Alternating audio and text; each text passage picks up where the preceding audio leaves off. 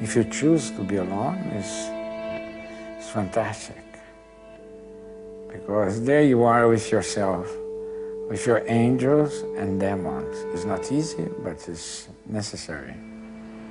And then actually, it is a kind of meditation.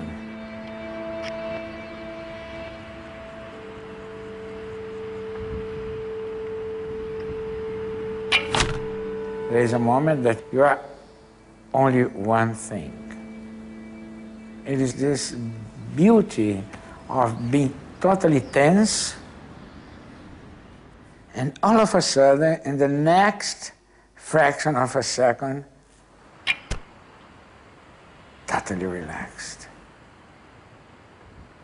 Then you see the universe in front of you. You contemplate this universe. You don't have any question, any answer. You just look and you feel. Still, you say, I'm alive.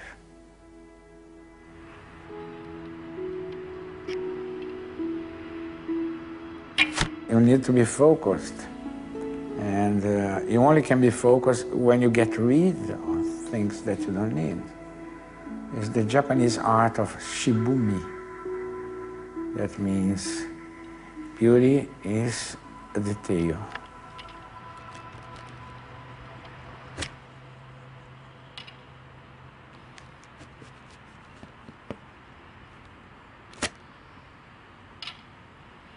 William Blake said once, you can see the universe in a grain of sand. He was totally right. He said, you can see eternity in a flower. He's totally right.